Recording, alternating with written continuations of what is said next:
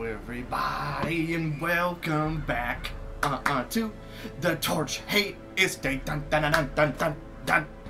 Sorry if I sound a little tired. Bum, bum, bum. Okay, so this episode is going to be a little bit of a mixture uh, between voiceover and normal commentary. Uh, reason being, while I was trying to record, it was extremely noisy, we'll say. So I ended up just recording um, without having my voice and figured, eh, I'll do a voiceover later. Which I'm doing as soon as I wake up. So, so if I sound a little bit tired, that would be the reason. And also, in case you're curious what that sound sounded like, uh, well, my mic picked it up. So here you go.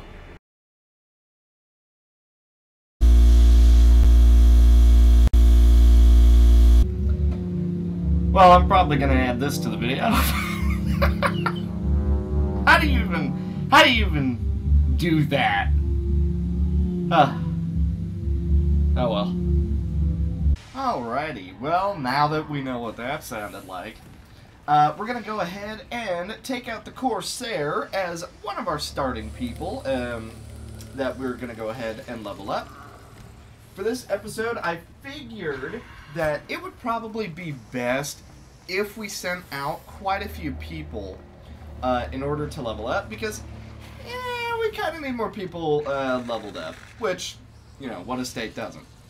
Um, so we bring out the Corsair, the Chimera, the Courtier, and the Plague Doctor. And don't worry, I did not forget to lower the torch this time. But our first battle is up against two Nami boys, as well as a leech. Now, the leech is, he can be a little bit dangerous. Um, my thinking here was we may as well buff up, get a little bit of stress healing right away, and just sort of see what we can manage. If we can land a bleed on him, he's going to transfer that to one of his buddies, so I opt to go ahead and just buff up ourselves.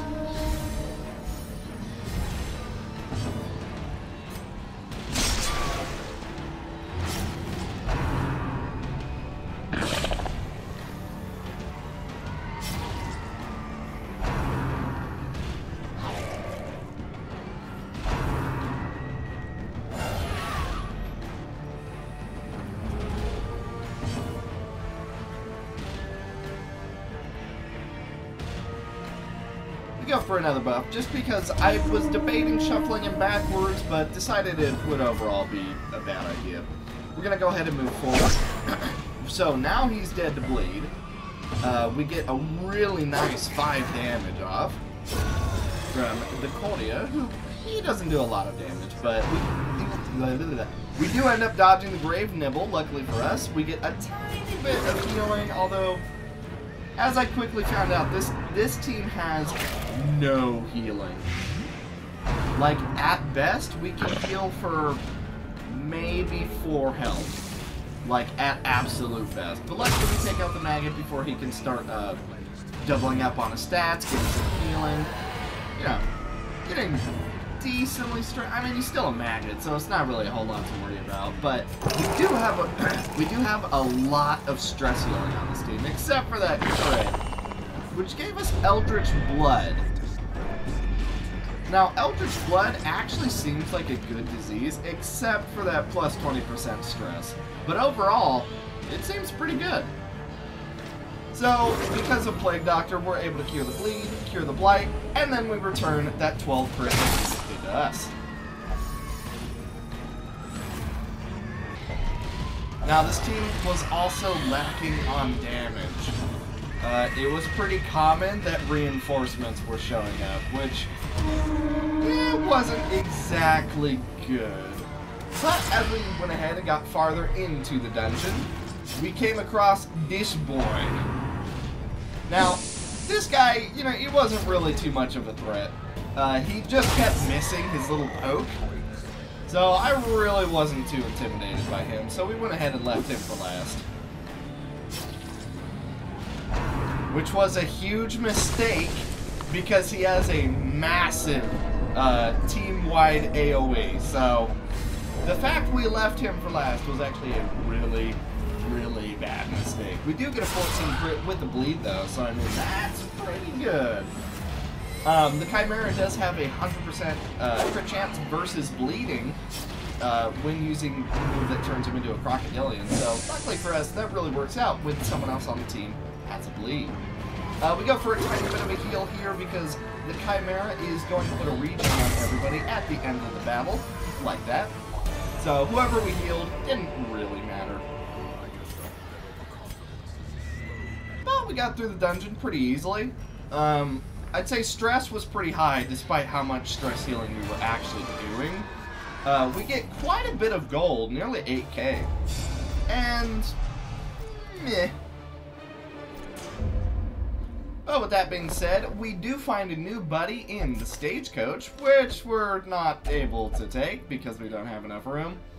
But then I decide to go to the mountains, because I figured, you know what? We got a pretty strong team here. We got the Count, He's got the Mountaineer's Pickaxe, the Bleed Amulet, the Mountaineer's Journal, which is a pretty, pretty strong combo, actually. Or at least I think so.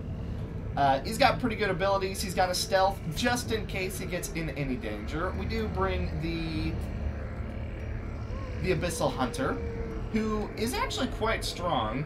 I may not know how to use her perfectly yet, but she is fairly strong. Um, if you use her quick stab, it does make it a lot easier, but it does remove the high roll potential. So it's kind of a it's kind of a mixture thing that you gotta decide. Like, do I want the high rolls? Do I want to just get uh, the mediocre damage, or do I want to take the gamble? Which, if you know anything about my luck, we're not gonna take that gamble.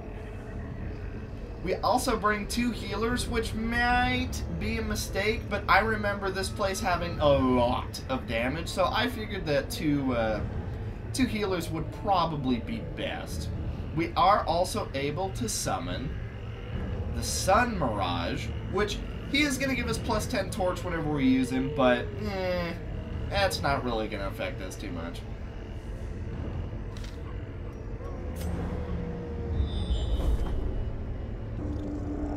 Come across this really strange formation, which when we looted it, gave us a lot of goodies. So I was actually quite happy about that. 375 gold.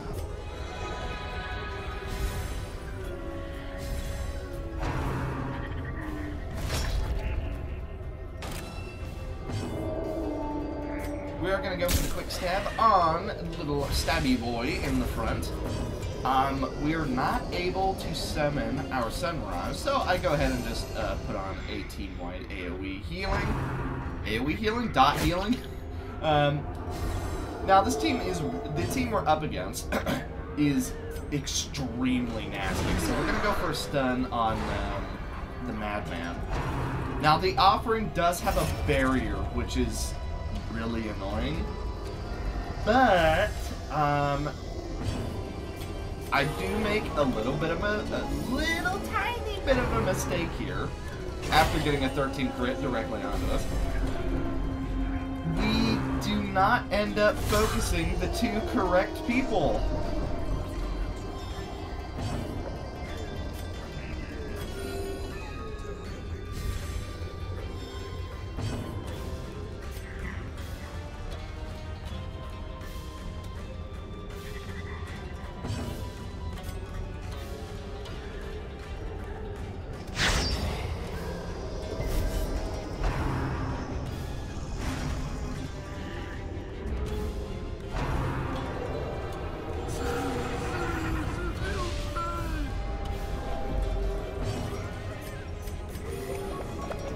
Stress is getting a bit high. I'm not actually sure why I went uh, why I went for a group-wide heal there. I definitely should have just gone for the single target on the uh, count.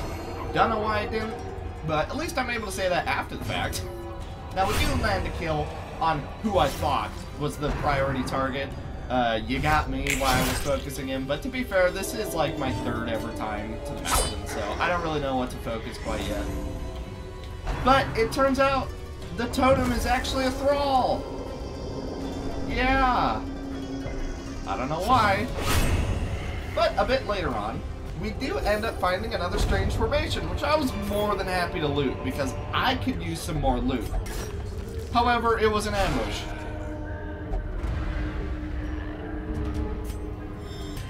Now, later on in the dungeon, this is where I feel like I'm going to get a little bit complaining.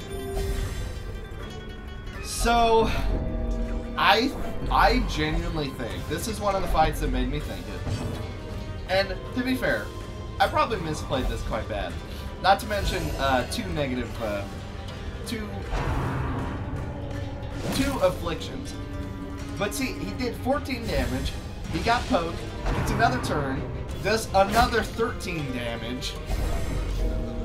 This is a level 1 dungeon, and he's done close to 30 damage in a single turn when most heroes, you know, around the level 1 mark, have around 20 health. That is ridiculously high damage. Like, the average, I want to say, of all the base is about 20 at level 1. Um, luckily, we do get focused, but this is this is one of the fights. I was you know when I do actually start talking in the commentary you can hear it in my voice. I'm I'm pretty PO'd because essentially my main complaint and I can say this after the fact not now that I've collected my thoughts so to speak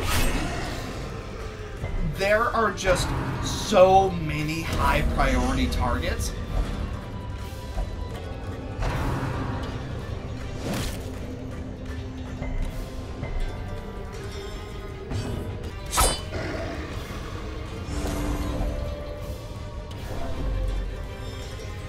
Yeah, that was pretty painful, leaving him at one health because now he gets to do a giant AoE. Woo! Oh.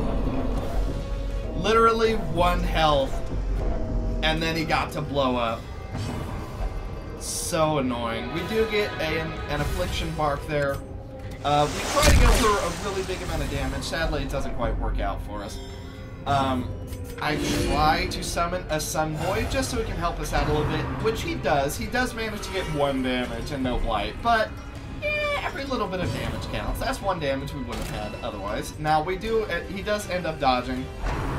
The prod actually works in our favor this time because it kills him. But my biggest complaint is if there's a corpse at the end of the turn, she pulls the um, Hateful Virago, where she can summon it, but not only is it a free turn, she also does damage and stuns during that free turn. So she has a mark, a stress, a buff, a revive, and she's always going to be in the back. So if you bring a frontline team, good luck. Not to mention the uh, prod boy. He can give an extra turn. He has a stun. I think he has a bleed too, but don't quote me on that one. And then there's also the totem, which has a guard, has a stun, and has the thrall explosion. And then, as if that wasn't bad enough, in a level 1 dungeon, they also all have an average of about 20% protection. All of them. So I don't know. I, I feel like the I feel like the mountain could use a little bit of balancing. The enemies there, you know, I could just be a big baby. Maybe I maybe it's my fault because I brought two healers. Not that it helped. But it just feels like the enemies there are way too strong. There are way too many priority targets. Like, if we look at the base game people, enemies, they have an average of like one to three attacks, whereas like the special enemies have like maybe four, yeah, about four at best. Where she has like nearly five moves herself, and then the totem has like three moves itself, which isn't that bad, in all honesty. 30 moves is fine, but I don't know. Now we head into a new dungeon with some uh, interesting characters. Not sure if they're going to be very good, but we bring the Frozen Corpse with the Mountaineer's Pickaxe, the cherished keepsake Cold Shock, True Ice Blade, Frozen Shard, and Winter Wonderland. Sally, the Goblin Huntress, with the Mountaineer's Pickaxe, uh, Buckshot, Riot Control, Decimate, and Suppression. Unnamed, the Legion Banner Bearer, with no trinkets. Legion Rally, Legion Brace, Legion Aim, and Enchanted Dagger.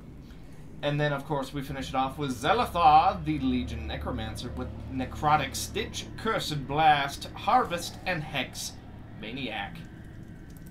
Uh, I don't think this team is going to be very good. I'm expecting somebody to die. Probably the Frozen Corpse, because every single move he has gives him minus 50% healing received. He also has no blight resistance, no bleed resistance, and this ability, which is going to be our party heal, is going to do bleed damage, which is, since he has no way to resist it, is a little bit of a problem. Well, off to a great start. Literally the first fight, and uh, we already have somebody who's about half health. Um, we are going to go for Cursed Blast, try and get a stun. We do land the double stun, which is actually really, really nice. Now, I'm thinking what we're going to do. We're going to go for Legion Aim. It's going to go ahead and help everybody to buff up. It does mark him, which is kind of an unfortunate side effect, but do what you got to do.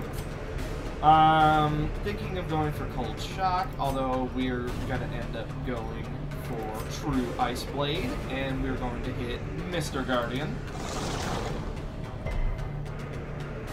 He also does damage to himself every time he uses a move, so I really think the Frozen Corpse, we could probably do without him. I, I think he's actually a really not good character, we'll call it.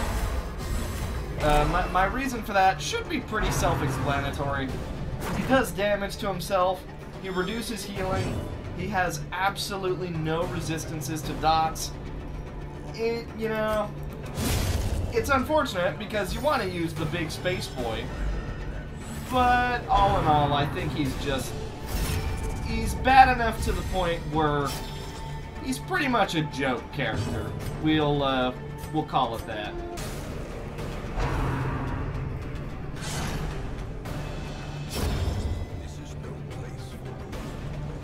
Well, that's not surprising. Yeah, um... I like the witch class mods, but this episode is me basically discovering things that I really am not a fan of, we'll say.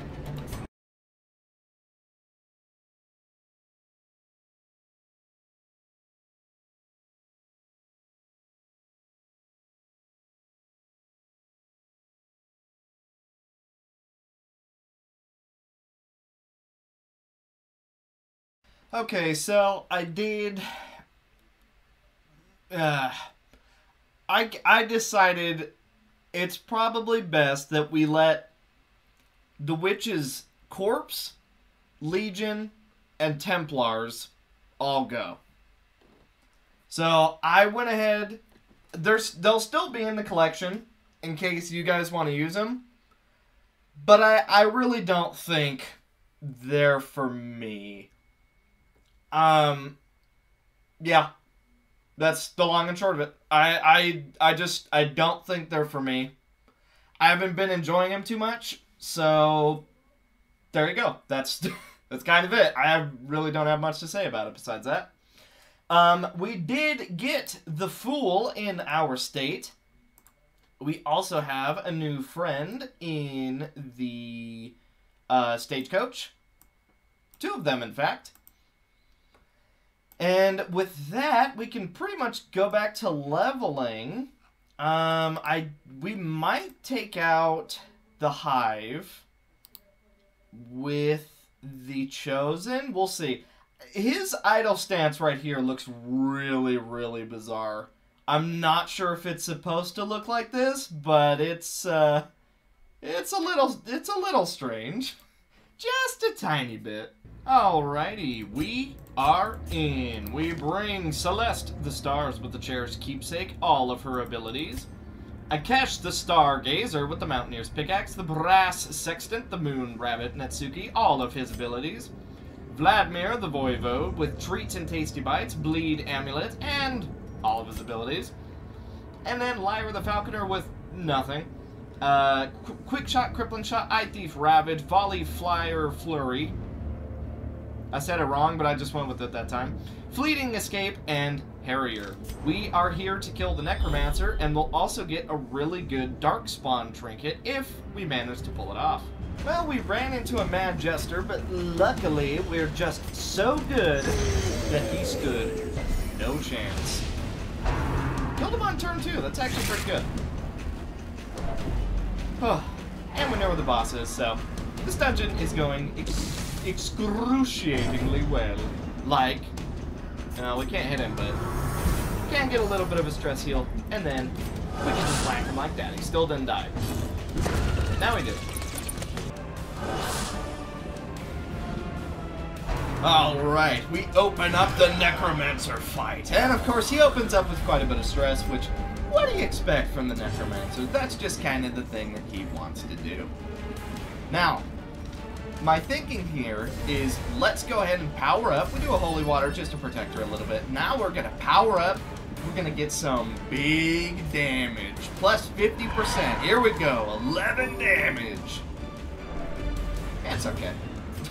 I mean, yeah, 11 damage when he's got so much. It, it, yeah, it's okay. We do pull him forward, attempt to go for the stun. Sadly, the stun does not work out. We go ahead and mark him.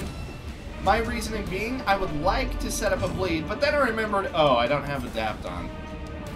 So, marking him is just going to act as extra damage. We do go for a little bit of damage here. It shuffles him back, which is an eh, unintended consequence, we'll say, because now he's at the very back again. Luckily, because of that mark, we are going to be able to land a 12 hit on him, which is really not bad at all. He does go for the, the flesh is willing, which, eh, it can do a lot of damage. It really just depends. Now, we're not able to hit him, so I just try and go for a little bit of damage. We do take him out, shuffle him just a little bit forward. Reason being, we don't want him to have three dudes up at the same time. It will not go well for us. Thanks to Vinny's rework. We do get a really nice 12 damage, which does give us a self-stun, which is unfortunate. He does get a, eh, starting to stack up that damage on the front, too. Even despite her uh, high amount of protection. So I'm thinking that, I'm almost thinking that that move ignores protection. We do take one guy out, get a crit, and get a little bit of damage, so that was, mwah, that's ultimate value right there. He gets a bit more stress, as he does. Decide to go for a Galaxy Smash, which does do a lot of damage, so that is really, really nice. He gets Boatman stance up, that's going to be a riposte.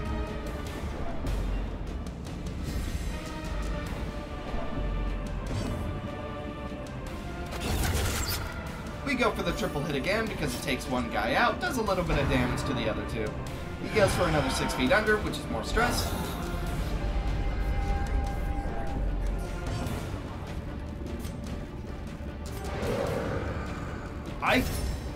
Going for the guard, mainly because I want the riposte and I don't want him to take too much damage. He does get off Rally the Corpses, which is a nasty, nasty buff. It's plus accuracy plus damage which, yee, you really don't want him to pull that off. Also, you see that? I just did 19 damage to my own guy. You want to know the chances that we do 19 damage to our own guy? Take a little look, shall we? After we get a really lucky death Door survival. Alright, let's see. It is 100%, 50%, 25%, 5%. We hit every single roll and did 19 self-damage. Uh, and the 5% is the one that does 10 damage. So if we hadn't have landed that, he would have gotten quite a bit of healing. But because we landed that, he's now on death's door. We do land a 17 crit though, so I mean that's it's nice enough compensation.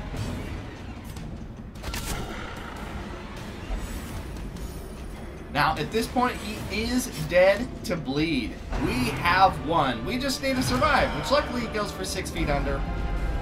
Um, well, I guess not luckily, but it does prevent us from just flat out dying. I was debating going for a heal here, but decided it would be best if we just stay guarded. So I go for a little bit of damage. It does hit for seven, um, but I wanted him to stay guarded. That's the reason. I feel like he probably would have died.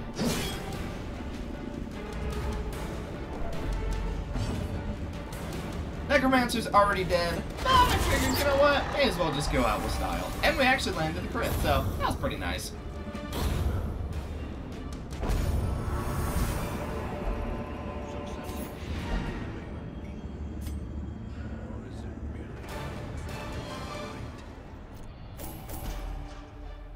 we get an okay amount of stuff from that. Now, the main reason, like I said earlier, is because of the Darkspawn Gauntlet. God, Gauntlet. Goblet. We also get a few good um, quirks. Eh, some of them are bad, but mostly good. Alrighty, but with that being said, I believe this is going to be the end of the episode. Uh, sorry if my voiceover is a bit bad. I haven't done it for quite some time, but I hope it was good enough. I did a little bit of a mixture between just normal commentary and me voicing over. So let me know how I did. This isn't going to be a, a, type of video I make too terribly often, if I can help it. But, you know, it's always good to have a little practice in. So thank you guys so much for watching, and I will see you guys in the next one. Bye.